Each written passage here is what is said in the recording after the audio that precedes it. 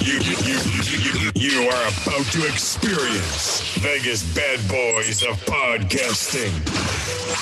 Fortunately, you are about to hear lots of opinions, but uh, rarely any facts. Impersonation might occur, but uh, good luck trying figure them out. This program is not intended for kids or the easily offended. Listener discretion is advised. You have been warned. You press play. It's too late to stop. Get ready to podcast.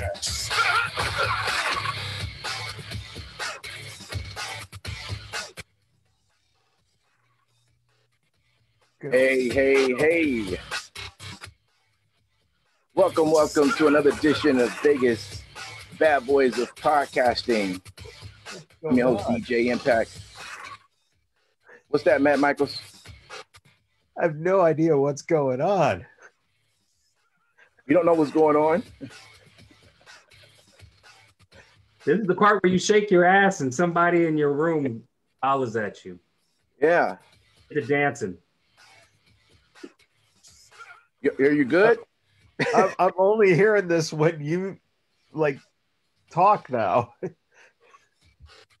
it like cut out totally, and now only hear it when it's on your end. Oh, so you didn't hear it before? No, no, we, we're still We hearing. We heard it. Still hearing it. We heard it, and then it it cut out for us where we where it wasn't coming through our speakers. It was only coming through when you turned on your mic. Interesting. Well, we'll have to play around with that a little later then. Yeah, Play play around with it for Valentine's Day, Okay. there you go. What the hell? Oh man. Well, look. Uh, welcome everybody who is tuning in. Thanks for uh, for joining us.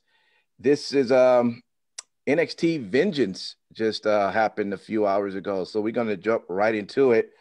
Before I start talking about No Surrender, that also happened uh, this uh, uh, past weekend as well. So, Vengeance, guys. Um, let's get to it. What is your take?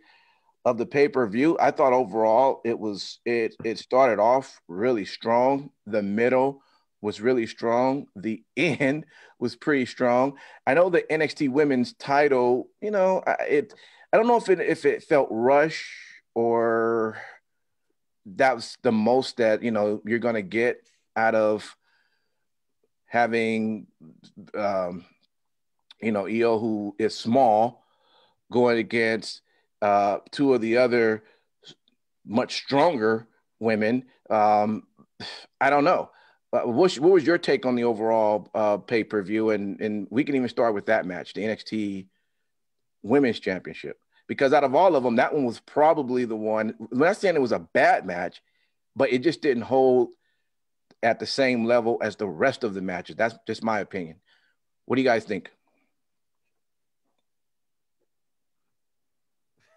Wow. Okay. Uh, I guess. Um, I guess. Oh man. um, I will say overall, uh, NXT Vengeance. I gave that whole pay per view uh, a street score of uh, an eight. I'll be honest, an eight. Um, the end, the You women's. had an eight point five just like an hour ago. What happened to that point five? Uh, uh, uh, I'll get into that. Okay, let me get into that. Ooh. But you didn't even say it to preference it, so people wouldn't even know that you had it. Okay, in in the chat, the Vegas Bad Boys of Podcasting chat, I stated at the time 8.5. I have reduced that score to an eight, and here are the reasons why. A lot of it had to do with that last match, or not the last match, but the, the women's uh, title match. I felt that the end wasn't that great. I felt like that part was a little rushed. That's just my opinion. Um, I felt like that match could have ended a lot better, but it was okay. I mean, it wasn't a bad match. Um, you know, obviously, everybody knows the result. Io Shirai is, is still the winner. Um, I was glad to see uh, Mercedes Martinez, um, you know, in the picture. I felt like she landed well to that match. Obviously, Toni Storm looked amazing as usual. Um, and I was really, real, real, really, really digging the, the promos that they were doing. um, with a lot of that, especially throughout the whole night.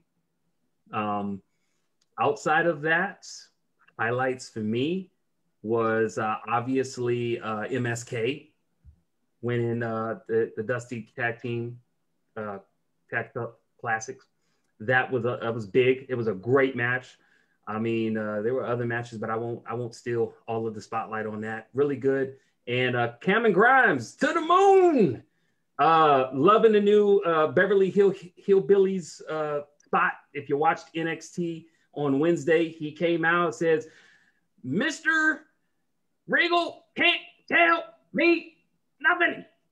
And he was handing out real hundred dollar bills. I was looking. I pressed pause. I was like, "Is a hundred dollar bill?" But I ain't gonna lie. He he he was he was playing like uh like like little Bow Wow in his videos where he got like a couple hundreds and then there was like a whole bunch of ones and maybe some fake money wrapped up in there. But but he, in real life, I heard he really balling. Yeah, yeah. He uh supposedly he bought up a lot of the AMC AMC and GameStop stock um, obviously, if you have been living under a rock, there was uh, a little bit of uh, chicanery that went down with the Wall Street Bets subreddit. Um, long story short, they manipulated the stock market and uh, drove the price of certain dead stocks like AMC and GameStop through the roof uh, or to the moon, if you will. and uh, Cameron Grimes is one of those people that actually benefited from this um, there were jokes being made supposedly backstage that uh, he was he was the richest man in NXT um, based off of this uh, this this cryptocurrency. He was involved with some crypto stuff too, but uh, also with the stock market. So it's awesome that they took a real life incident, something uh, that's timely and, and and legitimately happened to him, and incorporated it into an angle. Hey, uh, Sin City Steve, would you say that what Cameron Grimes did was shock the system of Wall Street? Uh, without a doubt, man. I and and that that's a that's an extremely terrible segue to what happened obviously at the end of the main event tonight, um, which I I believe that I know that it was called on this show. I'm wanting to say that it was Matt Michaels. So if it was, props to you, sir. Um, and you know, we, you called this a long time ago, man. So uh, you know, obviously Adam Cole super kicking Kyle O'Reilly, and now it appears that Kyle O'Reilly out of Undisputed Era. Well, let's let's let's be real though. I mean, definitely give Michaels his I mean his his props, but I mean, how long these guys been together though? At some point, you know it was going to happen. It was just a matter of when. Yeah, but I called him kicking O'Reilly, putting O'Reilly out, blah blah blah, whatever. Let's not give him a parade because may not stay on that float for long. So, where do you guys think um, this goes? Where this goes from now um, with Adam Cole? Uh, go ahead. I'm sorry. Main, I'm, I'm saying main roster. Uh, I think Adam Cole's. I mean, I mean, he won't be. I don't think it'll be immediately, but uh, seeing the end part with uh, Roderick Strong was kind of looking like, what do I do? Pretty much Roddy in the middle. Mm-hmm. You know, I think this you're seeing the dismantling of UE um, for all intents and purposes, and you're going to see um, at some point, probably within a month, maybe probably around Mania. I don't know, maybe before Mania or maybe after Mania, you'll see Adam Cole uh, to the main roster. Yes, Matt, Matt Michaels, go ahead. Anytime oh, within the next six covered, months. Yeah, you just covered every single day from now until next year. Well, you know, I mean, it's it's the inevitable. So hey, pick a goddamn month. It's gonna happen within one of those. Yeah. Well, um, I guess that still kind of was a shock though, because although we never knew when it was going to happen, it it Sorry about that. Wow. Hey, uh, zip that up, bro. Zip that up. no, just jumping online just to um, see who are all here, and I see a couple of people here. Welcome to the uh, to the online chat for those that are here. Um, yeah, I um, yeah, it was it was just shocking to to see it actually happen. Like I say, we knew at some point it was it was going to, but um, I tell you, just the match though that um, that came from Pete Dunne and Balor was just really, it was really incredible um, just to see them. And I, I guess you kind of, well, I don't want to speak for anyone. I, I kind of thought Balor was going to somehow end up winning, but Pete definitely shows that he is he's ready to be at that level. Would anybody disagree with that? He's been on that level. Yeah. Mm-hmm. He's been on that level. I mean, yeah. I'm I'm happy he getting some shine, but shout out to Finn Balor. Uh, hashtag how you gonna pee tonight? Because them them fingers is broken, bro. Eat tonight. How you gonna do anything that requires your fingers? You gonna need a personal assistant to open doors, put clothes on. He couldn't even do his fingers at the end. He was like this, like boy, Pete Dunne put work in them fingers, boy. Yeah. That match, that match was something special. That was that was really just the the the capstone on, quite frankly, one of the better pay per views that I've seen as far as in ring work from them in right. quite some time, and that says something because NXT generally delivers anyway. Yeah. Um, but I do. There was there was a section in this pay per view where I was just I, I it was like several five star matches just right, right, in a row. Um, you know, I made a comment in the Vegas Bad Boys chat that whatever match was going to end up following the Kushida and Gargano match uh, is probably going to end up being a letdown because mm-hmm. of how great Kushida and Gargano was. Um, right. But it didn't. And obviously, we we saw how you know MSK and the Grizzled Young Vets kicked each other's asses. Um, and I mean, it was it was fucking awesome, man. It like, was. Yeah, I was I was thoroughly entertained. Mm-hmm. Uh, this was quite the best the best WWE branded pay per view in a long time for me. I agree. You know, I made one of the comments, and I wasn't joking. Um, I'm like, uh, "Excuse me, NXT, I got to go to the bathroom." Yeah, it's like seriously, I gotta go. Where's the bathroom break? Because and, for, and then for you, the women came on the TV, and you're like, "Oh, okay, good." Wow. Wow. That's that's Wait. DJ Impact's just like, oh, oh, the women's title match. No, that's good. I'm good. I'll go, you know. But you know what I will say about well, that didn't happen because the NXT, even the NXT women's match, again, because you they did they such a, a strong show, you're going, oh, well, this one's just going to be just as good, and it was good. I'm still not saying it's not a horrible match. The you know, damn finish though. Right, exactly. That that finish. I mean, obviously they were they were short on time or they were over or something. I mean, they just. Well, if you remember, I said exactly in when we was on our online chat, and, and we do invite folks that uh, when we promote uh, to for you to um, jump on our app. Hopefully, you have it. It's available on iPhone and on Android. Download it for free. Uh, jump on the chat and you can chat with us. But one of the things I had mentioned was okay, Io somehow is probably more likely going to win, but the only way she's going to win is if she capitalize uh, from, you know, Toni and Martinez beating up on each other. Because it's where else was she? I mean, she couldn't fight one of them one on one, and it happened exactly like that. It just wait, didn't. Wait, wait, you wait. We go through this every every Sunday. Every. No. Why are we going to go there? Just go ahead. No, I'm I'm just confused. You're saying she can't go against either one of them, yet she beat Io Shirai for the Mae Young Classic. She wrestled her one on one. She could take Toni. I, Io Shirai lost to Toni Storm, and they they've wrestled. So I I I I get that, but I'm just saying that just in this in this situation, when you have two other women at the same size in the ring, it would be it, it would be kind of impossible for her to have that one on one when one of the others could eventually come back in and then disrupt that. So that's what I'm speaking of in terms yeah, of that. I mean, that's why it's a three way. I understand. But so you've had a three way before. You say what?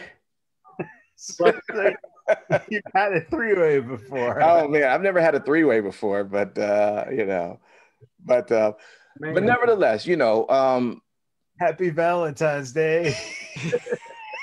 Who would you? Never mind. I'm not even gonna go there. The more you know.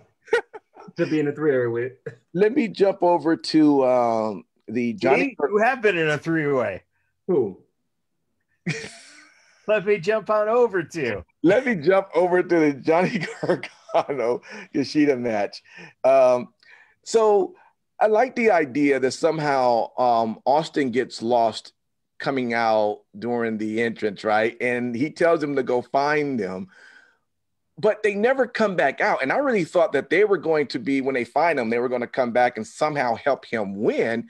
But he won that straight up. I mean, did you, you would you did you guys think the same thing? I mean, there, we don't know what happened. I guess we'll find out Wednesday. But would you not think that at some point they were going to return? and maybe even help. Test back. Say it again. They got their COVID test back. No. right at that moment, but they're supposed to go out, but oh, you guys are positive. You came in a little too hot with the temperature, so we got to kick you out there. no, I was definitely going to say that uh, it, it made total sense to me. First and foremost, I will say that we know Johnny Gargano, aka Johnny Takeover, when he wants to flip that switch, he can flip that switch. Plain and simple. He's shown us time and time again. Uh, so he doesn't have to be chicken shit heel, technically, to be honest with you. And he did that. He knew he wasn't going to have the chicken chicken shit heel preset option. And so he went Johnny Takeover. But, you know, it makes sense because his next opponent is Dexter Lumis. And I feel like he's going to have to bring that intensity with uh, Dexter Lumis. But, you know, who knows? He'll probably come up with some more uh, the way hijinks to win that match, possibly. I hope not, because I like Johnny Takeover. so, I mean, I like the idea of of Johnny winning, but during that match, I mean, Kushida was showing that he was dominating him with that arm to a point where it almost seemed like that arm was just useless. And then with two of his his finishers, um, you know, Johnny's finishers, he he you know he ends up winning with that. Um, I mean, is is that something that's okay with you guys when you see that when you're? I know we're used to seeing the idea of somebody getting beat up and they make this miraculous return, but because that match was so good, it almost seems like Kushida in many ways should have probably came out on top. Am I wrong on that one? I mean, I, mm-hmm. I okay. I guess so then. I, I, I, personally, I would have rather seen Kushida win that match. Of course you would. Of course I would have. But, yeah, but in any in any event, I mean, we'll see where the storyline takes us from here. But I, I would have been, I would have been completely good with Kushida coming out yeah. on top, taking that title. They, it frees up Gargano to do God only knows what else. But it, but they already showed us he's it's going to be the Lumis Gargano feud for the belt especially going into WrestleMania weekend. If you're going to do something special, if you're going to run a show or put it on the WrestleMania card, Lumis versus him for the for the uh, North American sounds like a fucking wonderful match. Does he drop the title to Lumis? Probably not. Hmm. I wouldn't. Well, Lumis doesn't talk, so. Well, I will say this for uh, Kushida. What I am excited is seeing more shades of Kushida that we've known for the longest time. And I'm glad that NXT, and I've said this before, but I'm seeing consistency that they're kind of doing it. And and and for me, honestly, in a way, there was a small part I was kind of happy he didn't win the North American. I want to see him win the NXT title. Truth, truth be told, I want to see him win the NXT. Yeah, yeah, yeah. Okay. Yeah. Yeah. Regrettably, I agree with you, Michaels. yeah. That's yeah. fine. That's fine. That's fine. It's all good, Simon. I, I, I don't think that I don't think he'll win the the main NXT championship, but it's which is on ability. I think he's. It's yeah. It's not based off of his ability or any of that kind of thing. I just I don't see him with that title. Not the right fit. Yeah. It sucks though because oh definitely you know that that that is a problem that I'm sure is for another conversation at another time. Exactly when it comes to the the women's uh, uh, Dusty Rhodes Tag Team Classic, did you guys enjoy that one? We haven't talked much. Ra- Raquel and Dakota uh, took on Shotzi and Ember. Um, what's your take? I, I don't know. Can you tell us more about this women's Dusty what? Hey, you stop. Are you saying it because it's a dusty cup? Are you referring to Dusty bra cup size. Is that what you're saying? Go ahead. Her dirty minus stretch stretched too. Oh my gosh. Continue, Impact. What was the question you're asking? What did we think about? Uh, yeah, that match. It, it, it was a good match. Um, me and you's pick. I think at first we wanted uh, Ember, Ember and Shotzi to win, uh, but unfortunately, I mean, you can't keep a, a strong Raquel Gonzalez. they, they they tried to throw everything at her, and she's just so goddamn powerful. And um, but that one move where um, Dakota Kai was on. Uh, uh, was it Ember Moon's uh, shoulders? Was she on Ember Moon's shoulders? And or some, but no, no, no. She was on Shotzi, uh, Shotzi's uh, shoulders, and on the outside of the ring. And Ember Moon uh, looked like she did a, a drop kick to her, and she fell. Or no, she did something. No, she, yeah, she she's almost This is the worst recap ever. in my mind. I'm recapping in my mind. Anyways, that's spot right there, I was like, damn, you little girl, your back hurt. but it was a good match. I I enjoyed. it. I'm happy for them winning, even though they weren't my team I picked. Does anybody know the name of that move? What what was she trying to do? Because I was gonna say a blockbuster at first, off the top. Y'all watched the same goddamn pay per view I did. What anybody? Even somebody in the chat. What was she trying to do? I don't know. What I don't was know. Well, apparently, me pausing trying to figure out what that was called is the same thing y'all was trying to figure out. A But that- Frankensteiner? Was it a Frank? Yeah, maybe it was Frank. Yeah, it was Frankenstein. Okay, maybe. Well, yeah. I mean, o- overall though, um, that that was a um, a good match. Uh, Ember took a a, a, a, hard toss um, over onto the floor by um uh, Raquel. Man, I tell you, I um, yeah, she's she's she's she's a beast, man. She's gonna be awesome when she gets to uh to to move up that chain. Um, but congratulations to them, man. They they did it just as well as we kind of mentioned earlier with uh, MSK on the men's side, taking on the grizzled young veterans. Um, and, yes, like we talked about, that was, you know, it's funny because for people who are not familiar with, I, I guess MSK is, you know, and I, and I just I'm lucky to have just enjoyed watching the Rascals for so long that, you know, seeing a lot of those moves or a lot of things that we got a chance to see there. But now seeing them on the NXT side, they just they just look great uh, there. Like they're just was meant to be a part of that. So so that that's a very good point. Mhm. And in watching that, it just goes to show if you look at them in another company, yeah, right. If you look at them in this company, Mhm. they're fucking great. Yeah. And it's just because of the step up between companies. Mm, I think I, I I think you do have a point, but there are certain people, and the Rascals is one of them. I I knew that if they ever got to WWE, they would shine. So it, they were shining in Oh, Impact. same fucking thing I just said. Thank you. on that WWE DI double double K.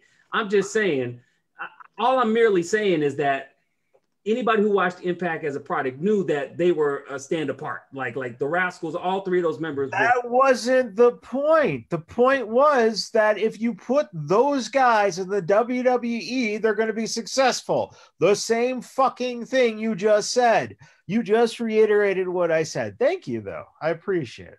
Besides all that, all I will tell you is is is the one great thing I like like with MSK is MX MSK is the tag team of this generation. They are the Hardy Boyz, uh, Edge and Christian, you know, the Dudley Boyz. Those premier tag teams, they are for this generation. Their whole style, everything, it matches with this generation.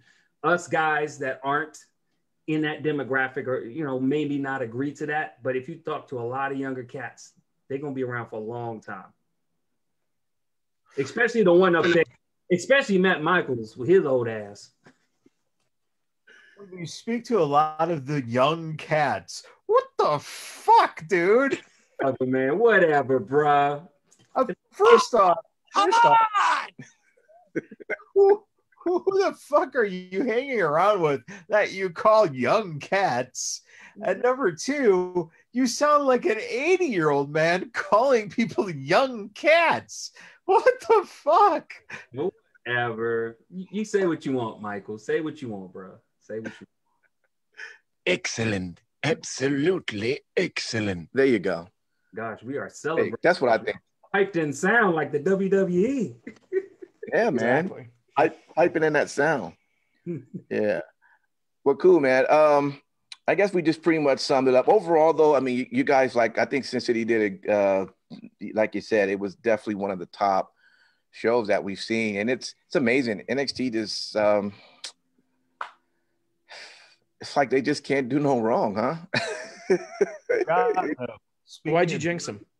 Speaking of doing no wrong, Mhm. there was one thing in that show that went wrong. okay. And that's when Toni Storm went over to the, set up the table Oh, and yeah. take it off. She touched it, and that table just Yeah. went. Hey, Michael, do you know what that was? That was the next level of Finger of Doom. dude. Oh, oh, oh. Go ahead, man. No, I was gonna say, you know what? I'll give it to you. By her being able to do that, she is stronger than Io Shirai. Yes. Hey. They're touching my ass. nice one. Um, okay, how about LA Knight showed up, right? L.A. Knight. Don't like the name, love the guy. Love Eli Drake. Can't I please get to get to the main roster so Vince McMahon can cut that name part and just have a night. I don't know. You don't like L.A. Knight, huh? No, it sounds like a club. H- hang, hang on. So you want him to get to the main roster so that Vince can take LA out of his name, so that he'll just be Knight. Do you want him to come out in like a fucking coat of arms or some shit like this is World of fucking Warcraft? Better than fucking Knight, But yes, that would be cool if he did come out with a coat of arms. Like, like Jesus. I don't like the name Knight. I was excited to see him. I was like, oh man, Eli Drake, yeah. And he said, LA Knight. I was like, what the fuck is LA Knight? Oh, this is Well, what, would you would you have kept the name Drake? is better than freaking LA Knight. Oh, except for the fact that Eli Drake, okay, could not be on a show with Drake Maverick and one half of a tag team who the guy's name is fucking Drake. And that's all they said through the goddamn match. There you So, no, you had to change it. And LA Knight is fine because he's from Los Angeles, man, and he's fucking playing a Hollywood character. You could tell right off the bat. But I'll go with your genius booking. Let's call him up to the main roster and let him be a night in which you think it's perfectly fine. All I'm saying is they could have done a better job with the generator for this guy. But I'm happy that regardless of what the fuck Simon Street thinks of his name, he Speaking of name generators, exactly he got he got his from the same generator I put my name in. yeah, You're an idiot. Oh my that piped in sound. Every everybody got tools but me and, and Sin City Steve. We got the mute master, Michaels, and then we got the piped in sound of impact. We need to get us some fucking gifts, man. Shit. right? Duh. Winning. All right. So look, let's uh, let's move over then. Uh, Impact Wrestling had no surrender happening this Saturday, um, and I actually you mean no talent because they're all either on AEW or just signed with NXT. first off they have talent. Okay, all right, stop that. It's ridiculous. No, say it with chest. 'cause and it was actually uh, it was a pretty good pay per view as well. I was quite entertained for what I saw.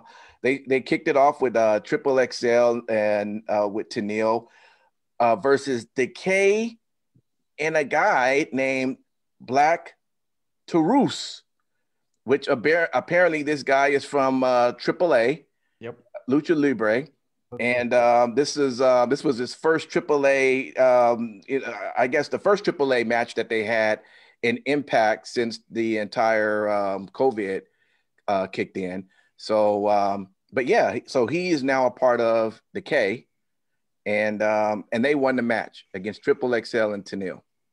So, are you familiar with him at all, uh, Matt Michaels? No, I. uh Here's the thing. Uh, luchadors all look the same to me. Except for one that is wearing a fucking Taurus mask, complete with the fucking horns. Right. This guy looks absolutely nothing like any other luchador on the planet. Right. And honestly, I I was really surprised to see that that they brought in Black Taurus. Uh, Mhm. even more so that they that they put him with Decay. Right. Um, but yeah, uh, nonetheless, he he is very he is very good in the ring. Yeah. Um, he's very entertaining, and uh, somehow he's able to you know put on a put on great matches wearing that ridiculous Taurus mask, That's true. which. Oh, And uh, obviously, you know, I'm saying it's ridiculous, but I'm just obviously that's hyperbole. I, like I, the dude, the dude is talented. Um, I've seen him work live uh, on a few indie shows. Guy's awesome. So Well- good get by Impact for sure. What I would say is it's awesome that D took it up the next step because when I first saw it, I was like, man, this is what I wanted psicosis uh, to be a long time ago. if you took Psicosis from WCW days and turned it real fucking Taurus, it, you get that dude. Yep. Yep. Yeah. Right. You know who uh, uh, Psicosis is? I just want to know. Uh, you know what? Listen, when it comes to masked wrestlers, there's only one, and his name is Mantaur.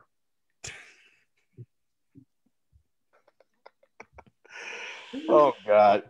For Okay. fuck's sake. There was also a match. Um, they had Matt Cardona with Eddie Edwards uh, versus Brian Matters and uh, Brian Myers with Hernandez. Now, the only reason why they pretty much had that match is because you know Matt and Brian pretty much has haven't been in a ring since I think they were tag team champions over at Raw as you know Zack Ryder and Curtis Hawkins. So being that um, they're now over at an Impact, they haven't had a match yet, and the whole purpose of this match was, you know, now that they're in this tag team, they kept them from touching each other from the entire time they've been there, and they've been on been on Impact. Well, I, I think Matt's now been on there for. You are seriously trying to justify this stupid story. Well, hey, the, hey, uh, you know, the, again, the whole idea w- it was in this particular match, they were going to have their one on one, but it, it was just going to happen halfway during the match. So every time one would, when Eddie Edwards would would would would, uh, would tag Matt in, then Brian would go out, and it would just be vice versa until eventually it had to be those two in the ring, and they did fight. And Brian Myers did get the pin over Matt. So Matt still is not picking up wins still over here, but uh, I'm sure he will. You know, I'm sure. Oh God. Oh God, that was a Simon Street breakdown of this shit. Oh my gosh, here you You know what you are, Michaels? You are the Oscar the Grouch of Vegas BadBoyz of podcast. I just want to put you in a goddamn garbage can. well, uh, this, let's give this to uh, Matt Michaels. You are one pathetic loser. All right, there we go. Yeah, but I'm not the one talking about the relevance of Zack Ryder going against Curt Hawkins for Hey. the first time ever. Hey, because everybody in Impact are are just losers in your book. Everyone I'm going to name is going to be like, "Are you really talking about Violent by Design? Are you really talking about Daivari? Are you really talking about Rich Swann?" Yeah, bro, we gonna talk about it. This might be what you might want to have your bathroom break. Remember, I was looking for that for NXT and they wouldn't give me one. I'm gonna give you one right now. Yeah. Anyways, let's jump over by Violent by Design, who is uh, Eric Young, Joe Doering, and Deaner. Uh, they were having their match against, well, he was cousin Jake, but he ain't going by cousin Jake anymore. He's going by the name Jake something. Jake something. Yeah, Why? Why are we recapping this? that is what he's going by. Nevertheless, they're trying to get Jake over into Violent by Design so that he could be a part of the group, trying to baptize him. And so I don't know. How, I see what you say. You're gonna baptize him in something. yeah, that's his name, Jake something. So we'll see where where where that goes. But he ain't going by cousin Jake anymore. There was a triple threat revolver match where the number one uh, contenders match for the X Division Championship would happen out of uh, these eight wrestlers I'm going to name. And of course, how the triple threat revolver works is it starts with three, and as one gets counted out, another one comes to the ring. So who was a part of that? Daivari, Suicide, Willie Mack, Ace Austin, Trey Miguel, Chris Bey, Josh Alexander, and Blake Christian. And one thing I thought was interesting, I don't know if you if you were aware of this, City. You, I know you keep up with a lot of the news. Um, uh, Blake Christian, who I guess is mo- really familiar in, in, GCW and New Japan. Yep. Um, he had he I've seen him once before uh, wrestle, and, and, he's great, and he was great in this match as well. But um, uh, I guess apparently he got signed by mm-hmm. WWE. Yeah.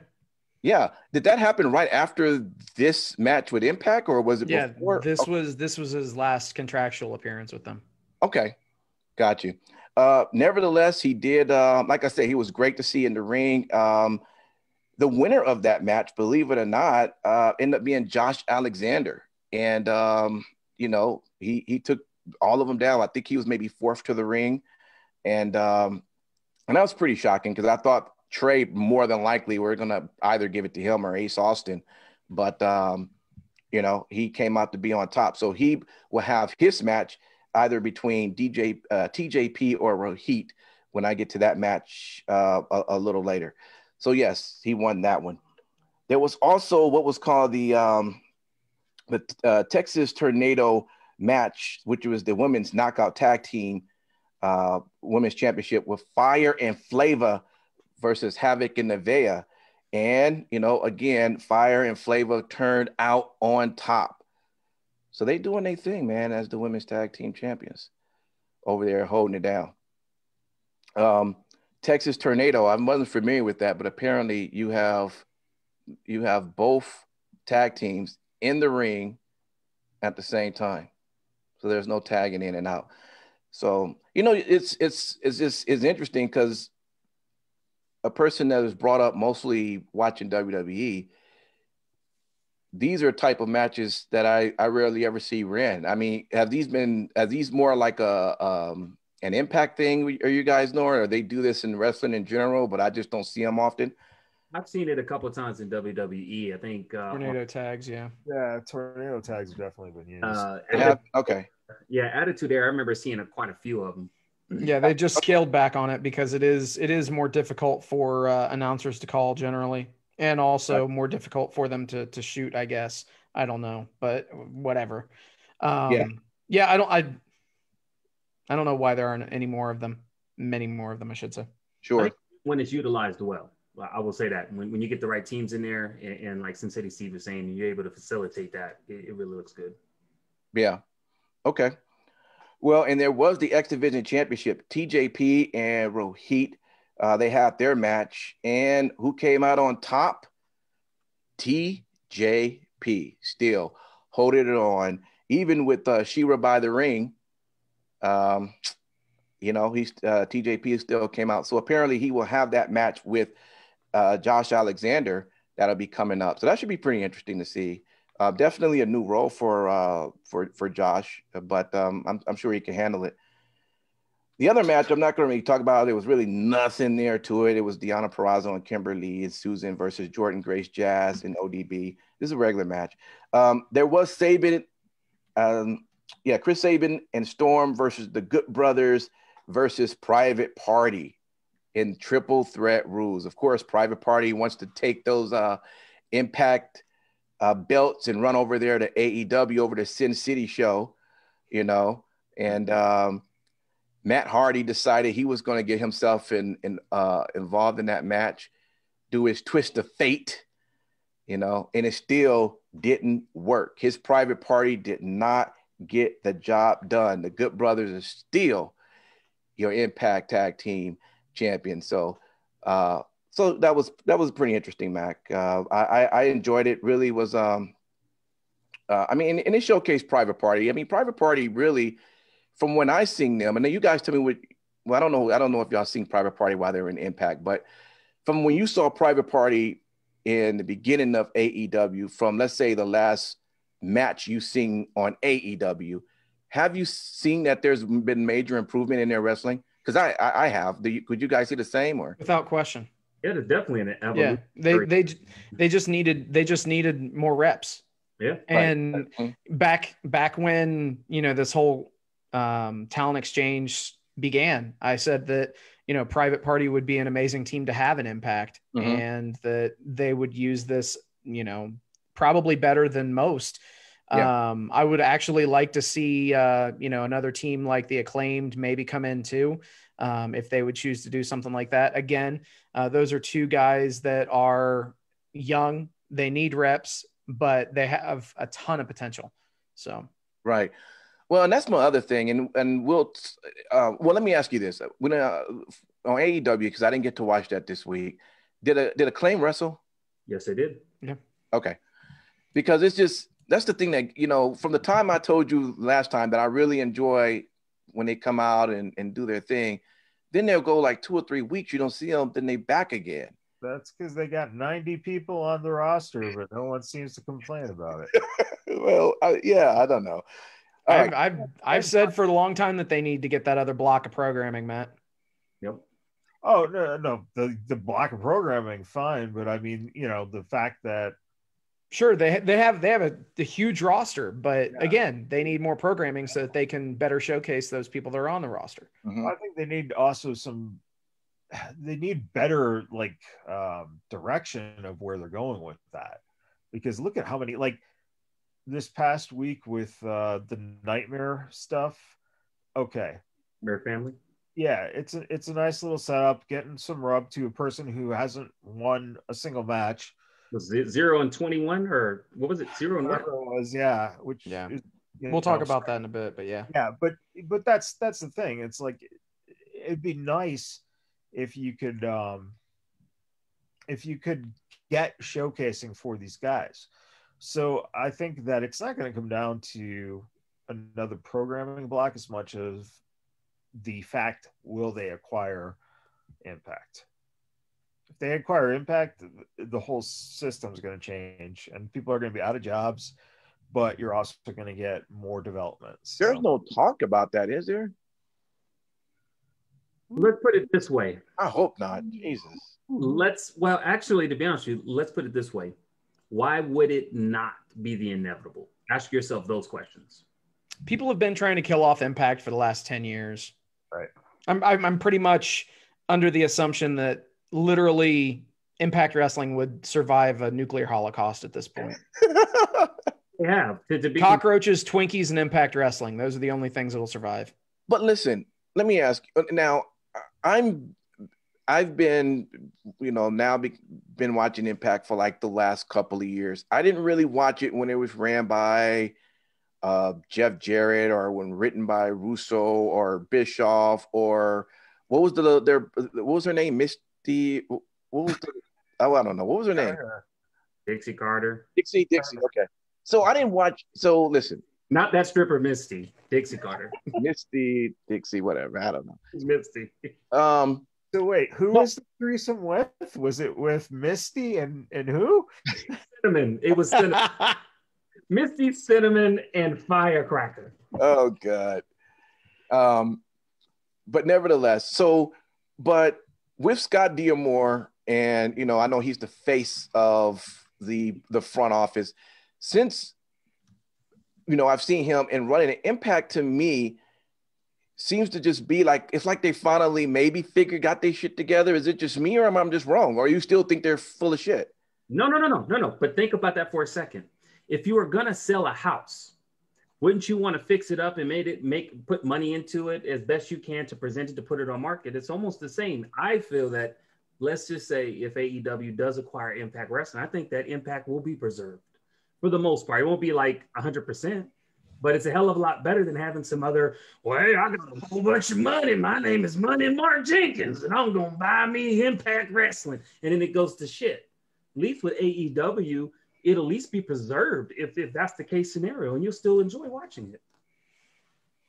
well you know listen i Please. thought Please move it along. We just got an impersonation of whatever the hell that was. I mean, because I'm fulfilling my contractual obligations to the Vegas BadBoyz of doing impersonations. You, sir, never do it. That's not an impersonation. That's an abomination. There's a difference. Listen to our show. You know, ladies and gentlemen, that our impersonations are shit, and we're aware of it. you know, I guess, I guess, w- w- and, and again, I, I this was my first time, so I was like, uh, first time hearing the idea of if that would happen. I've always was under what I've always wished would have happened when WWE took acquired WCW was that they would have, you know, of course they purchased it, but let it run itself separate. I've always They didn't have TV. Uh, yeah, I get that, but I'm just saying, like, I I just hate the idea of them. That's what I was just. I wish there was a way they could have could have figured out. I would hate to see that same thing happen where if AEW were to do that, that they decide they would want to. But that's it. But, but that's it. If AEW, if AEW buys them, they're buying themselves an NXT. Basically, That's what this is. So if that does happen, that's what you're looking at. You're looking at a lot of those impact people just being let go because it's too much, you know, added to what they have now. Um, and it becomes the training ground because they already have TV with access. And access could also be part of something bigger I in think terms the of Impact wrestlers, they would a lot of them would be let go, and not the AEW ones. yeah, absolutely. that that's the natural. All right, well, we're listen. not talking we're not talking main roster people like the main people you're not talking moose you're talking about all those people who are getting shots who don't get to be on other tv programs that's you know the concern hmm. Okay. Yeah. So the last one the- was the Impact Wrestling Championship, and um, this one was Rich Swann, and I'm pretty sure Matt Michaels will be like uh, WTF on this, but it was against Tommy Dreamer, and I I guess the whole idea with that was you know it Valentine's Day happens to be Tommy Dreamer's birthday, he happens now to be turning 50 and they wanted to celebrate him in some way for him being in wrestling for so long, for him to have an opportunity for the world title. Uh, now, of course, they didn't give him the title. Rich Swann still uh, ended up getting it. Tommy did as much as he can do, and, and Tommy also referenced that. Look, I can't do half the shit I used to do, so you know, I. I I'm damn near hurting getting out of the bed. But still, this is an opportunity and probably my very last opportunity I would ever have for a world title. So I'll take it. He did. He lost. Um, and Moose eventually, which was the whole setup, came out at the end and whooped both of their asses because that's going to be the next big match with Swann and Moose. And Moose maybe can finally put away that TNA title, but the way he ended the show, he had both titles in his hand, so he's going to be a double champion in his mind. But um, anyway, that was uh, it was no surrender. Overall, I thought it was a a, a really good uh, uh, pay per view that Impact put together. And uh, really? you don't think so? Okay, You're not going to even talk about like the biggest thing to come out of that paper out of that pay per view? Really? big enough for him. It wasn't big to him. Evidently not. New Japan Pro Wrestling. David Finlay, Juice Robinson will be appearing next week on Impact on Access. But, Oh. he- but but here's the thing: he also didn't watch AEW this week either. So I mean, you know, No, no. Well, I was actually okay. Well, I was going to mention that over in the New Japan part of our of our segment. That's what I. That's what I. But that's okay. But yeah, you're right. I. I no, that I, you're right. I. That's what I was going to save that for. But talk about it, man. That is big. It, it's it's huge. Um, the fuck fucking Michaels just kick kicks back his head and laughs. Um, now realistically, I mean, New Japan and Impact used to have an amazing working relationship. Uh, you had people such as Shinsuke Nakamura, such as Kazuchika Okada, um, show up in Impact. And granted, they weren't uh, treated the uh, the best in, in terms of their gimmick or their booking, but nonetheless, it was part of their excursion um, to the states.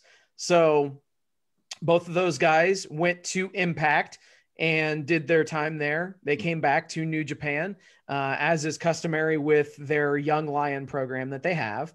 Um, and both guys are obviously monstrous stars. Um, we all know about Nakamura and what he's done in WWE. Um, but uh, there's also Kazuchika Okada, and the things he has gone on to in New Japan have been legendary at this point. Absolutely.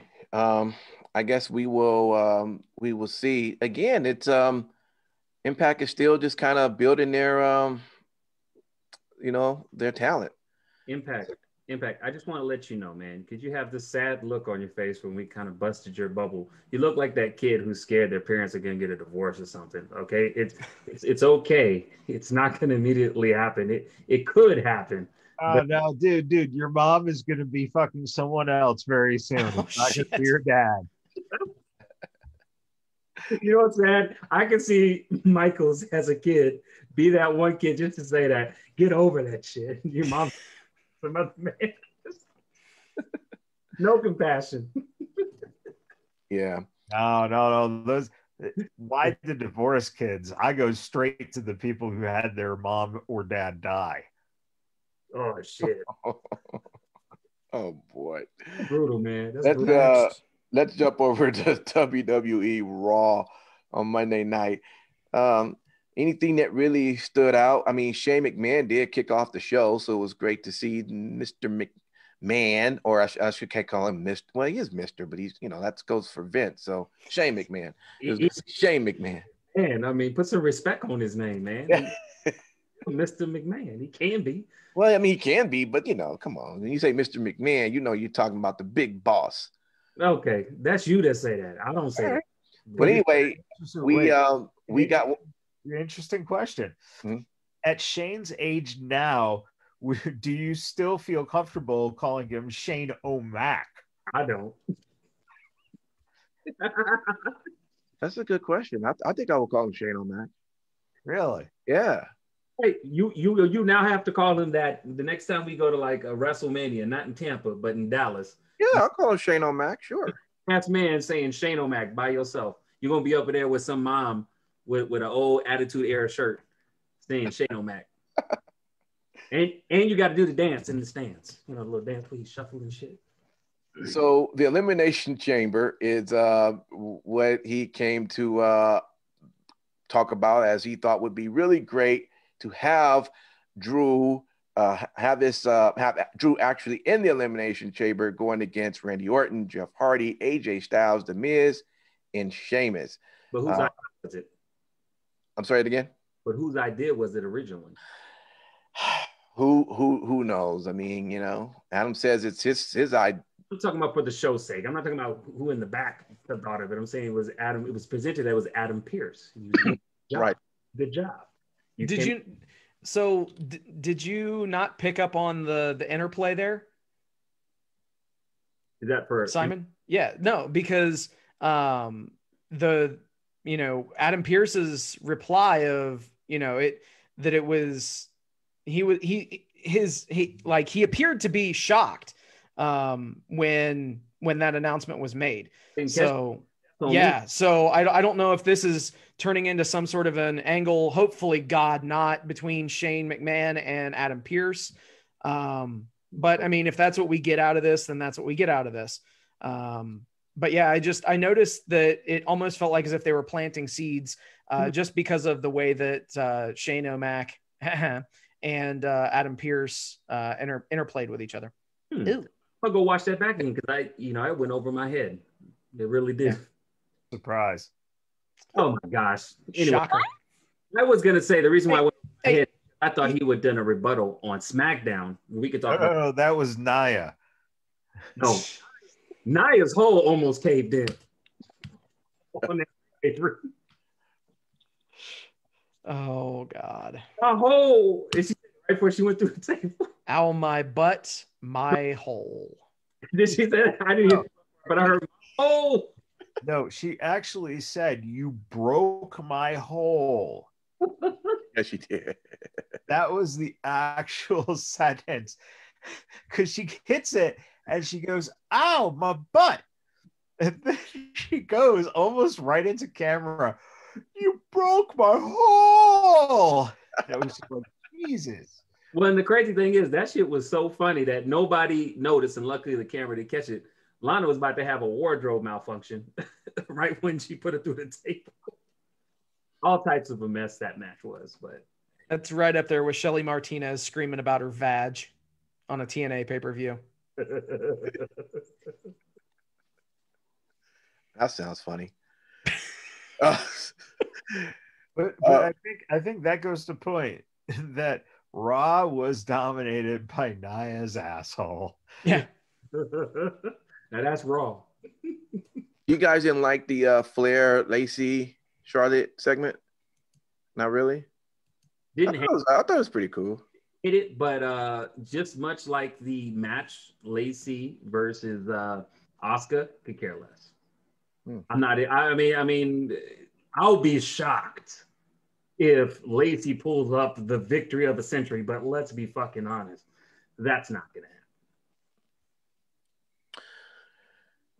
Let me ask you this. and let me go over you, Michaels. Who is, or who do you expect, or who have you read in, if if you read the dirt blogs, that Drew McIntyre is supposed to face for Mania?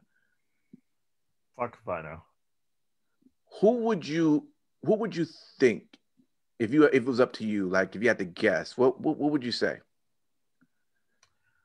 I don't know. That's I mean that's tough. Um that's so let me let me just throw this out here because I want you to you're gonna beat me up and that's fine.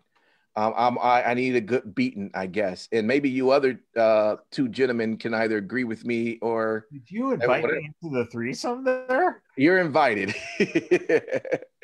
listen, and this is this is listen, Bobby Lashley.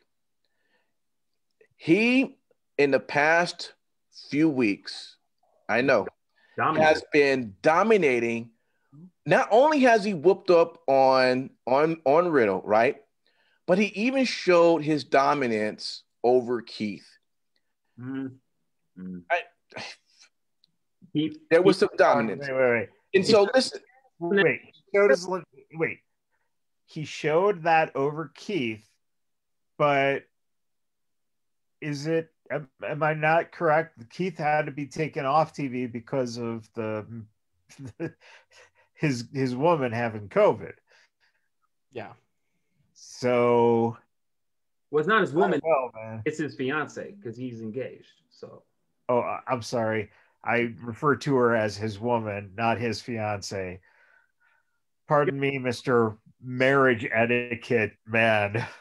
hey, I'm my etiquette is perfect in the beginning, but maybe not so great on the after.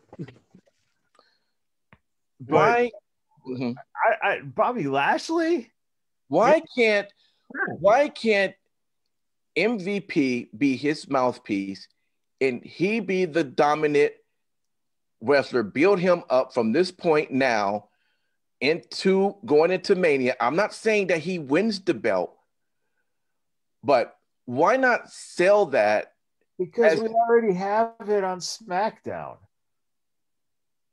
Roman and Paul. You just recreated Roman and Paul for Raw. That's what you did. Well, I, what I'm saying is the reality of it is if you're gonna have somebody for Drew, Drew done went through everybody. Who is he gonna have? If you you, you can't you can't even bring back Brock because of Paul's situation. So what I'm saying is is just just Strowman. for Mania, why not use as big as as Lashley looked? He looks good, despite if you don't like him or not. And you and I and I know you have, and you got listen. Sin City and and Simon Street agrees with you. All right. All I'm saying is the way that he's been looking as of lately, and the way that they're building him, and the way that MVP, of course, is holding down. Uh, he's always been holding down the mic. Why not use that as something that could be an incredible match that eventually can go oh, into? Oh, oh, oh, you just got the mute there. Incredible match. Come on. I like the fact that he's still talking I know he hasn't figured out how to do it yet. because right when you look like you're about to touch it, I'm like, all right, let me unmute it. You have to push the button right. th- Good job. All right, just want to make sure you got it. Come on. Finish, Impact. Finish. Don't don't let them steal your thunder. Well, no, I, I listen. I believe what I believe, and I I believe that Bobby is definitely him and MVP would be will be great a great build up for uh uh Drew. I agree. I do. How- I'm just saying. how- I, how- I, I don't see anybody else. You tell me. I just put you on the spot and told you to tell me who you think that Drew. Who? Strowman. What Roman. Strowman. Roman? Roman. Braun. Oh, Braun. Okay. Strowman. Strowman. Okay, so Braun Strowman. He's okay. got he's got a blood infection. He's not gonna. He's yeah, yeah, he does. Yeah, I heard yeah. that. I don't. I don't know. I don't know if he's gonna be healthy for Mania, or at least for the Mania push. Him So, sick would still be better than Lashley. But why? I But disagree. Why not Lashley? You say why not Lashley? Because It's like watching fucking paint dry with the guy. And I'm For, presenting for just almost 20 years, okay, it's been nothing. The Wait. last two weeks that I've seen with Lashley, I'm just saying the way that he they that he that they have presented him to look. They Show presented to, Matt Riddle. So you think Matt Riddle can go like that, but he couldn't. He couldn't. Uh, uh, he couldn't beat uh, what you call it, Keith Lee.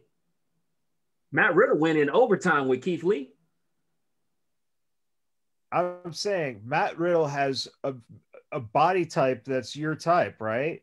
S- You know, skinny, lanky, like that. I don't see any threat in Matt Riddle versus Bobby Lashley. So you had him beat up a guy who is fucking basically, you know, he should be beating him up. I understand that. That- which is the same exact what I was mentioning earlier about Io going against either one of those two women that was in there. When you have someone, when you compare the size, I get that what you're saying. At the same time, though, you have when you had him uh, Let uh me ask you this. Let me ask when let- that had let attacked Keith, he No. attacked Keith and he showed pretty much dominance within that as well. whatever. The, the the the question here is this: Would you pay the five hundred dollars for a ticket to see Bobby Lashley versus Drew as your main event? Yeah, Yes. Then Yeah. You guys are fucking insane. you know what? We're fucking And where is you, where are you getting this five hundred bucks from? Because we need it. your ass dance. We gonna make your ass dance. We gonna put you in a threesome. Make some money off your ass. so All right. here's Well, here's the well- thing: is it, Yeah. it if done right, it couldn't it could be okay, but realistically, just knowing how WWE does things, they would they would find a way to fuck it up. Um, obviously, you're gonna have to get you you've got to get the U.S. title off of him. Right. You know, in Yeah. in this very the next way- match. By the way, Sin City, I'm not even saying that this is going to happen. More than No, no, likely, no, I know. not. It's probably not. I'm just saying I don't see why it would not be a fit. The way that I see that they're now building Bobby the last two weeks, it seemed like something that could be a good match if they continue on that level. Um, and and and you know, and hell, he might have his match or interference or whatever against Keith Lee, manhandles him again, uh, in whatever capacity. It shows that he has the strength to go up against Drew, and it could make if if if so right and built right, it could make a good uh, uh match. That's all I'm saying. I, I don't I don't think it's gonna happen. I'm just saying I think it could. Are you sure you didn't watch TNA back in the day? Because you just took two ex TNA guys basically who uh supposed to you know revitalize their careers in TNA and they're about as good as they were in TNA right now. Drew still have the belt. So what are you gonna do? You, you, you still couldn't tell me who Drew was going to actually fight against for Mania. and I told you Strowman. And he just told you why Strowman couldn't. Well, All right. okay. Well, let's I'm, I'm sorry. the- okay, let's let jump- me, let me wait. Let me go through the whole Rolodex then. Okay, let's see. Who can you wrestle? at? Okay, Edge. Then he's got Edge, right? That's stupid. That Oh, doesn't no. make any sense. Let's go over to Oh, wait, uh, wait, wait, whoa, whoa, whoa, time Well, out. I'm out. Wait, Wait. wait. Last week was it not you who said that that Edge versus Drew would be a great match? No, it was actually me. I was the Oh, one. that was you. Oh, Yep. oh, never mind. That was dumb. That, that was me. I mean, it's fine. I said it. I said it. I said it. Um, but you know who else said something? Uh, I'm gonna agree with what Randy said in the chat. Randy did say that Bobby won a big title, and I beg to differ with a lot of people, and I agree with Impact that I think that this might be the best chance for Bobby in that capacity if he had MVP as a mouthpiece, and just like Sin City Steve, if they did it correctly and they didn't follow the fuckery pattern that WWE does tend to have with a brilliant idea, it could work because Strowman's off the table. Matt Riddle, I think we can all agree, why that might not go the way it should go. Okay, so who else do you got? Yeah, you, you don't have anybody. I mean, ultimately, what you have to do if you if you're going to go down this route, all I'm saying. if if you're going to go down that route, Um, you just have Keith Lee pin Riddle, uh, so that, that way Bobby Lashley doesn't get pinned in the in their three way at the Elimination Chamber. That Mhm. way, it still keeps him strong. And Mhm. then, you know, you have Bobby come out on Raw and he just says, "Oh, well, I'm I'm done with the U.S. title. I'm looking for bigger and better things." And then he goes after Drew. Sure. I mean, that's that's the only way that it that that could work. And you got MVP as a mouthpiece. MVP Right. has been on fire. Even in commentary on Monday, he's entertaining to have. Sorry to shit in your cereal, Michaels, but it sounds like as if that could very well happen, or at least it's logic. It's logical. Right. All right, AEW. Let's jump over to there. Um, Sin. City. Um, tell us what went through, man. I actually didn't get a chance to see the show. It's recorded, so I would definitely uh, take a look at it. But um, tell us what happened. All right. So I'm not going to recap the entire show. anyway, um, I will mention a few bright spots. Um, I thought that uh, the Darby Allin Joey Janela match, uh, everyone thought that it was going to be a, a garbage fest, uh, just a ton of weapons and just crazy shit going on. These guys, outside of a couple of dives, kept it inside of the ring. And I, I thought that this match was much better than what it had the capability of being or what it should have been, honestly. Um, Joey Janela is floundering at best right now. And it, you know, it is what it is. Um, yeah, they uh, they gave Darby some shine, obviously, um, only to get dragged later, and Yeah. we'll talk about that. Um, you did have uh, Lee Johnson getting his first win in 29 attempts, Hmm. um, which was cool as he teamed with Cody Rhodes against Peter Avalon and Cezar Bononi. Um, of note in this match, uh, Cezar Bononi uh, picked up Cody for a back body drop and dropped him on his shoulder, leading to a slight tear of Cody's rotator cuff. Uh, whether or not that's a shoot, we'll find out. But um, supposedly he will be okay for the Shaq match. So um, after the match, uh, Lee Johnson was giving thanks to everybody in the Nightmare family that helped him, except for QT Marshall. So uh, they're evidently going to be putting those two together as if anybody could give a shit that those two people will be feuding. Um, yeah, so there's that. Which was pretty- Um, then you had the acclaimed versus MJF and Chris Jericho. Um, it was a good match uh, for what it was, um, but uh, you did have MJF and uh, and Jericho picking up the win there. Um, but what happened after the match um, was actually uh, led into by a backstage vignette earlier on, and for some reason, the uh, it revolved around MJF and Sammy Guevara in the back, and they were having a conversation. And uh, yeah, it it it ended up that Sammy and MJF basically accused each other of trying to take over the inner circle. MJF played it up like as if he sat his phone out to record Sammy saying things out of context. But obviously, as we all know, uh, we're watching a TV show, so they're recording everything with context. So realistically, all that Jericho or anybody would need to do would be to actually watch the fucking show, like Impact didn't do. In any event, um, that led to Sammy punching MJF and throwing his phone against the wall, shattering it, uh, leading up to the uh, aftermath of this match where Sammy quits the inner circle. Mhm. He quits the inner circle. He walks out. And uh, of note, he exited the arena through the babyface tunnel. So that was uh, that was something subtle of note. Um, and he uh, they even showed him going through the metal detectors on the way out of the building. So implying that he not just quit the inner circle, but that he possibly quit AEW, which uh, some interesting stuff went down uh, this week as impact tapings happened. And sammy guevara was actually supposed to be a part of those impact tapings. According to what was reported uh, by the wrestling observer take it as you Oh. will the uh, the creative plans were vetoed by tony khan and jericho initially. Uh, they represented some creative plans to them. And then, uh, thus, Sammy went to the site of the tapings, showed up to the building, found out what the creative was going to be for that episode, and um, basically said, I'm not doing this shit. And yeah, uh, Tony Khan and Chris Jericho were called. Sammy Guevara was sent home from the Impact tapings. And supposedly there's some heat now between Jericho and uh, Guevara as a result. Wow. So, yeah. So there's that. Um, yeah. We'll see what happens, but um, it looks like as if we've mean, hit our I'm- now, first our first getting- stumble in the road. Is he like getting a big head now?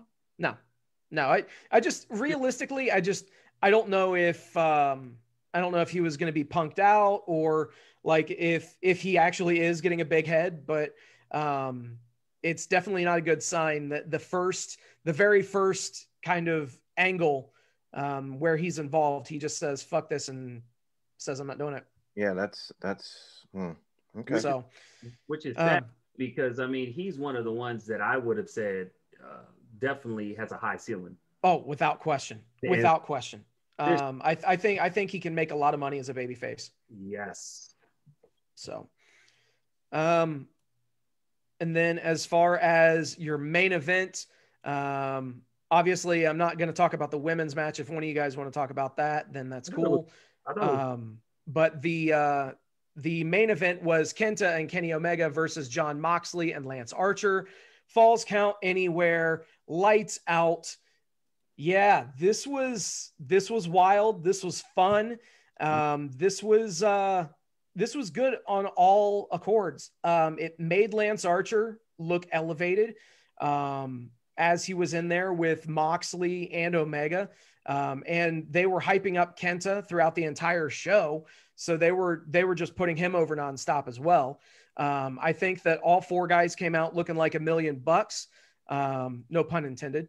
Um, in the end, though, Omega hit Archer with a V trigger, um, and then he needed uh, the help of you know the Good Brothers uh, who came out, and uh, he ended up getting Lance Archer up into the one winged angel. Uh, so that was that was kind of interesting to see. Lance Archer's not a small dude.